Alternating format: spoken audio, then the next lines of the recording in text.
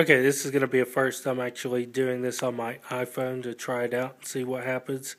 But um, we have a F700 here that a customer sent to us, said it had no video, and we can actually tell that uh, the piece right here has been broken off. Uh, it still has the prongs, but the uh, plastic is gone. So the first thing we're going to do is we've taken this one off of this spare board that we have. Um, and it's right here.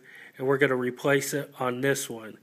So we're actually going to take this, put it on here, and then we're going to test it out and see about the video and everything and go from there. So um, that's what we're going to do here in a second. Uh, just repair this one and then start our uh, diagnostics like we always do and then go from there and see what happens.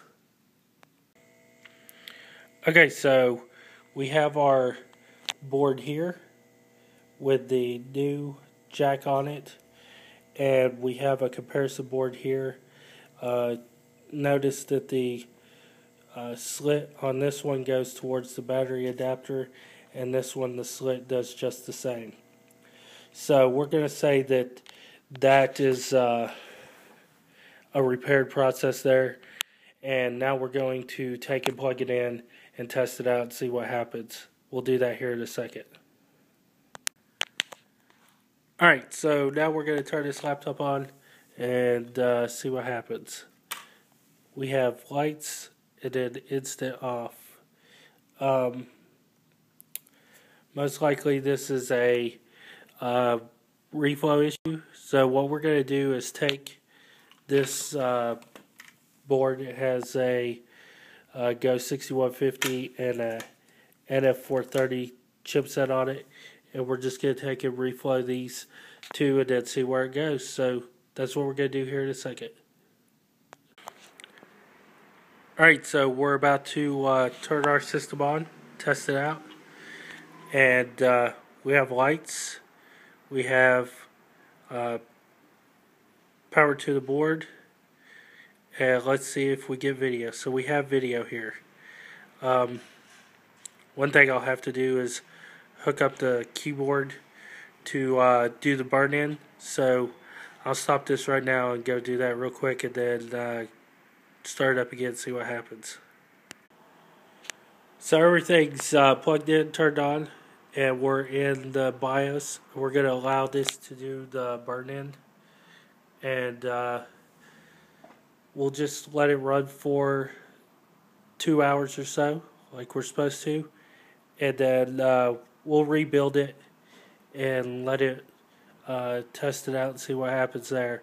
So we knew that it was a reflow and that's what needed to be done to fix it. So we're done as far as that's concerned and we'll just let it run and do its thing. Alright, we've run our board for the time that we need.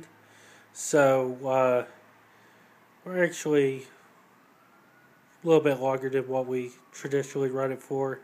But uh, what we're going to do is take it and put it in the system and uh, put it back together and see what happens from there. Uh, hopefully it'll work. Uh, pretty certain it will. But uh, nobody knows about the screen or anything like that until you put it back together. So we're going to go from there and see what happens and uh, continue the process of fixing it.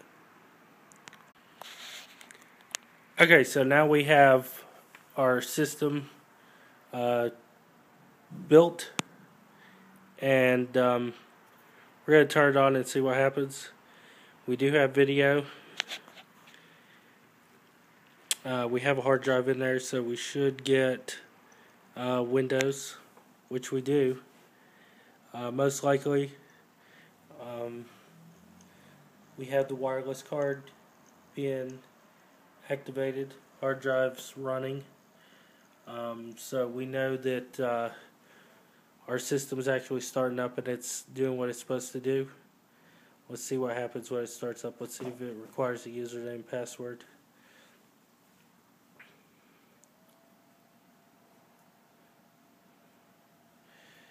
And it does. so let's see. we don't have the password for this system, so we're actually going to say that it's done. Uh, everything's complete with it. Went through the, uh, the burn in, diagnostics, uh, changed the plastic piece on there, um, and everything seems to be working with Windows. So we're going to say that it's complete. This is a done system.